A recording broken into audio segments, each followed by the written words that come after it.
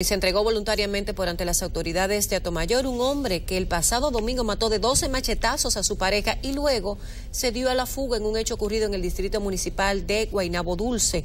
Carlos del Carmen había llegado borracho a su casa y no llevó cena a su pareja, lo que provocó una discusión que terminó con esta tragedia. Yo mismo no sé que eso fue cosa de ron. ¿Por qué viene el problema que usted, que usted le quitó la vida a su Por una esposa? cena.